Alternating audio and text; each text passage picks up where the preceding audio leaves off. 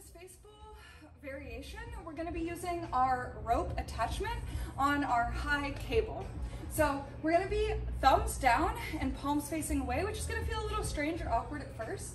So hand, hand.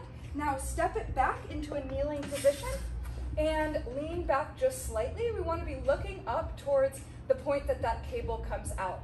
All right, so now pulling so that our hands are on either side of our face and bringing it back in.